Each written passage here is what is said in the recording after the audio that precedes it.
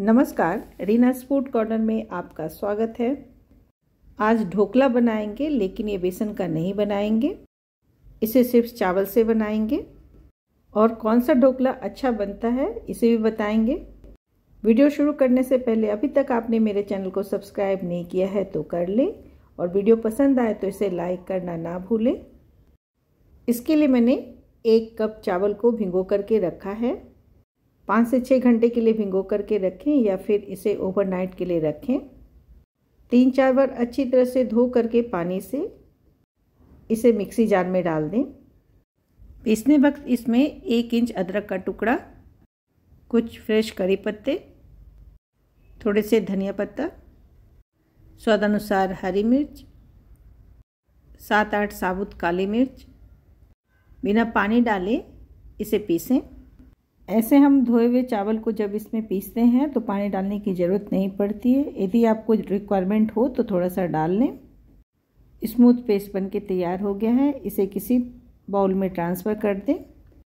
अच्छी तरह से एक और फेंट लें।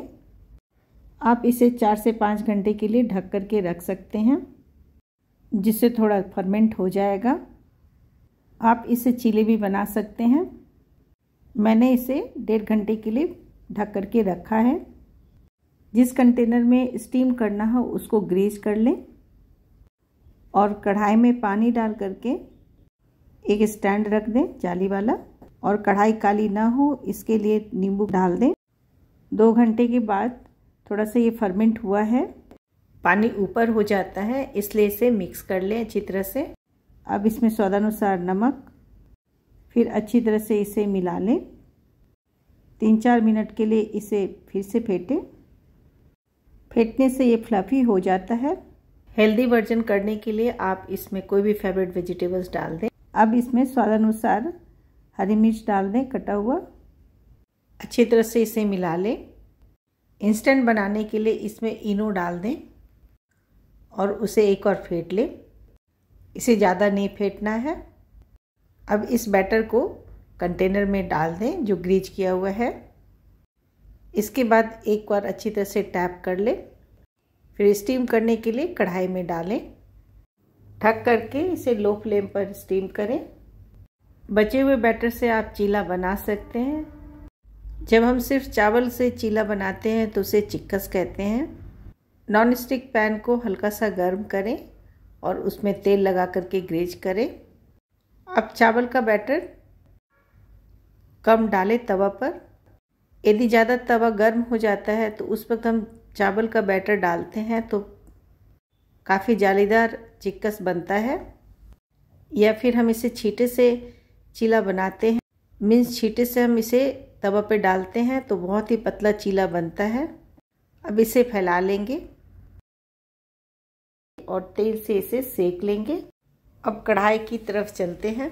इस पर स्टिक डाल करके देखते हैं। ये यदि नॉन स्टिक ही होता है तो तो परफेक्टली स्टीम हो गया है। तवा वाला भी सीख गया है। अब इसे ठंडा करेंगे और तड़का देंगे। नए पैन को एक बार गरम करें। इसके स्टिकर को गरम होने पर निकाल सकते हैं। इस टिप को फॉलो करें। इस पैन में तेल डालें। राई और मिर्च डाल दें। थोड़े से करी पत्ते। इसे थोड़ा सा भून लें। आप यहाँ पर तिल भी इस्तेमाल कर सकते हैं और आपके पास कच्चा नारियल हो तो इस वक्त इसमें डाल सकते हैं। तड़के को अच्छे से चटका लेंगे। आपको यदि मीठा पसंद है तो चीनी घोल करके इसमें डाल दें और उस वक्त नींबू का रस भी डाल सकते हैं। चाकू की मदद से साइड को अलग करें, जिसे आसानी से इसको निकाला जा सकता है। अब इसे पलट ले। पहले प्लेट को इस पर ढके, उसके बाद इसको फ्लैप कर ले और इसे हल्के हाथों से टैप करें। अच्छा सा राइस केक बन के तैयार हो जाता है। राइस ढोकला बन के तैयार हो गया है। इसके ऊपर तड़का डाल दें। आप इसे चटनी या फिर सांभर के साथ सर्व करें। आप इसे दही की कढ़ी के भी साथ खा सकते हैं, बहुत ही अच्छा लगता है। और इसे कट कर लें।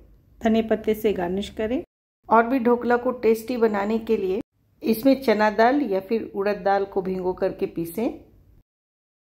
तब ढोकला बनाएँ, तब बहुत ही अच्छा लगता है। जितना अच्छा बेसन का ढोकला लगता है, उतना अच्छा सिर्फ़ चावल का ढोकला नहीं लगता है। मेरे चैनल पर आपको चना दाल और चावल का भी ढोकला मिलेगा। बचे हुए चावल के ढोकले को आप सब्जियों का छौक लगा करके इसे बना सकते हैं। और उसमें सॉसेस डाल दें तो मंचूरियन का टेस्ट आ जाता है। तो आपको वीडियो कैसा लगा? यदि अच्छा लगा तो इसे लाइक करना ना भूलें। और अभी तक आपने मेरे चैनल को सब्सक्राइब नहीं किया है तो कर लें। तो मिलती हूँ मैं आपसे नेक्स्ट रेसिपी के साथ। तब तक के लिए take care and thanks for watching